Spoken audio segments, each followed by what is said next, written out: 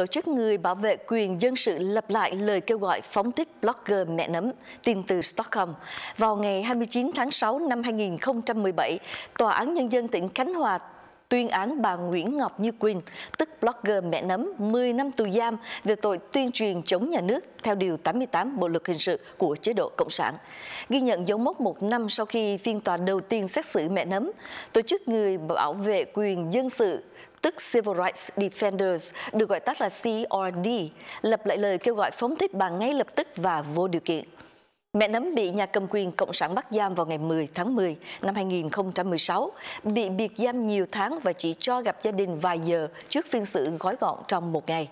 Khi đến dự phiên tòa phúc thẩm vào ngày vào tháng 2 năm 2018, bạn bè và gia đình bà bị hành hung ngay bên ngoài tòa án. Sau đó nhà cầm quyền chuyển bà tới một trại giam cách xa gia đình hơn 1.000 km, khiến cho người mẹ cao niên của bà phải thêm vất vả tốn kém khi đi thăm nuôi.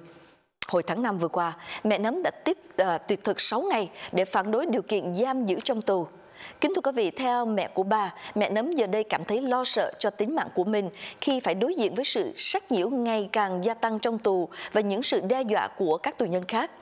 Kính thưa quý vị, ở Việt Nam một số tù nhân gọi là ăn ten được khuyến khích bạo hành hoặc sách nhiễu các tù nhân khác.